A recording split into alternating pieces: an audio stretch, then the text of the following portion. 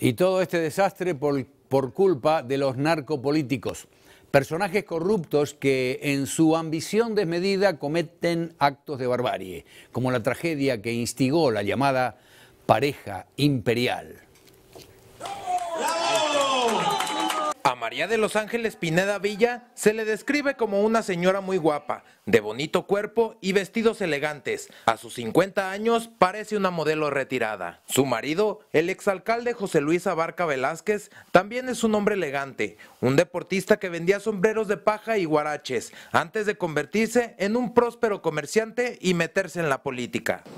Esa es la pareja imperial que reinó igual a Guerrero desde el 2012 hasta la noche del 26 de septiembre pasado.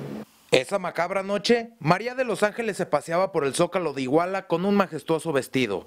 Era un día especial, el pistolazo de salida de su carrera política. Ella quería ser la alcaldesa de Iguala.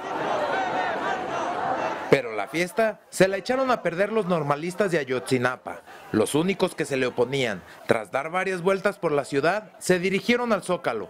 La emperatriz no soportó el atrevimiento y pidió al director de la policía municipal darles un escarmiento. Fue entonces que alguien llamó a la muerte. Mientras los estudiantes eran masacrados, la pareja imperial bailaba. Dicen que no supieron nada, Nadie les creyó, pero tampoco los detuvo. Para cierre de edición, René Ascue.